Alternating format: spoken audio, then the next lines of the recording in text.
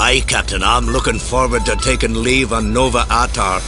The museum there is supposed to be quite excellent. Lots of antique and one-of-a-kind machinery.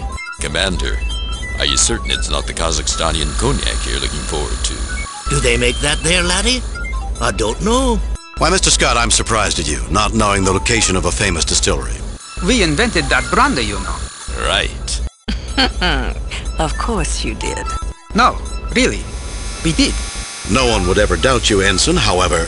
Sorry to interrupt, Captain, but we have an emergency call from the science vessel Demeter. She's in orbit around Balkos 3. On screen. Captain Kirk, good to see you're in the area. You have an emergency, Commander Gelman? Well, I'm not sure, actually. Maybe more of a case of better safe than sorry. We're orbiting Balkos 3 to study the Balkosi, a race of people just entering their own Stone Age. We've only been here two days. Already, we've found some unusual data.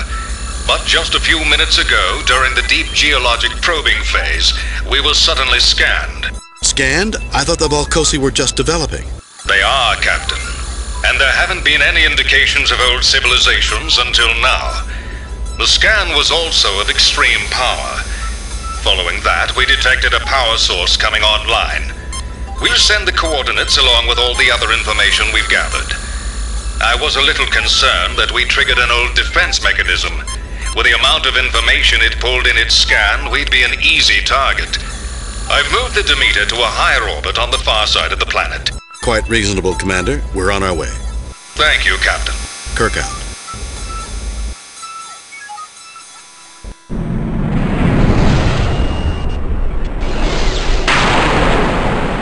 Approaching Balkos 3, Captain. Entering standard orbit.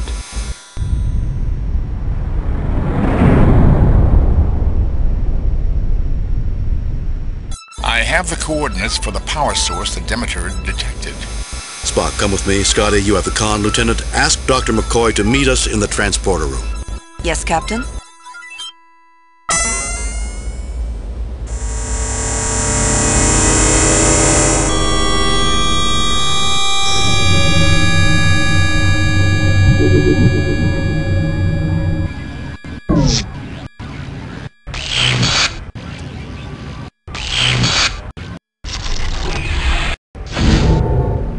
What the devil was that? An attack?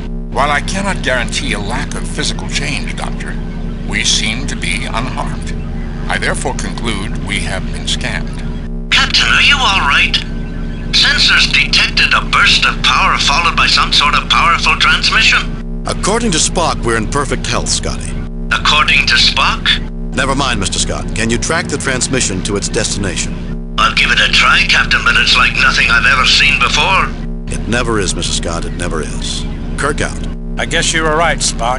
Here I thought we were dead for a second. Doctor, that would have made conversation quite difficult. I was making a joke, Spock. Were you, Doctor?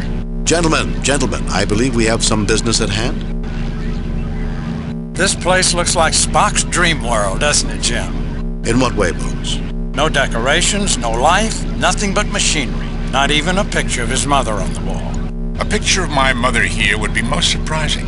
However, if you are suggesting that construction was performed in an efficient manner, I would agree with your most logical conclusion. Remind me to check my blood for green tinges when we get back to the ship, Jim. You know, I've got the feeling this is bigger than it looks, and I don't mean just more space beyond this door.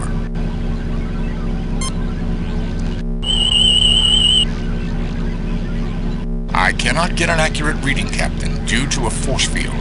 However, it appears to be a transmitter.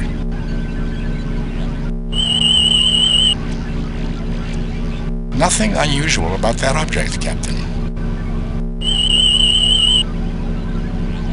It is an unknown piece of equipment inside an energy field.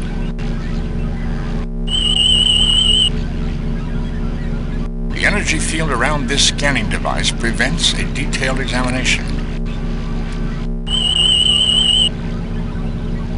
This star is made from native minerals and shows the propensity to emit low-level light. It shows a high degree of machining, Captain. Mineral compounds in the star are not native to the surrounding regions, which indicates that it has been imported. How can you be sure, Spock? It is extremely similar to synthetic corn blue sapphire. Oh.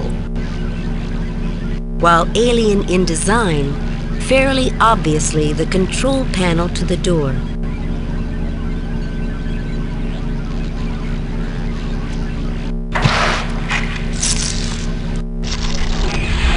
Simple, considering the appearance of the other machinery here. All that was needed was a power interrupt. The doors will only stay closed while power is on. Interesting.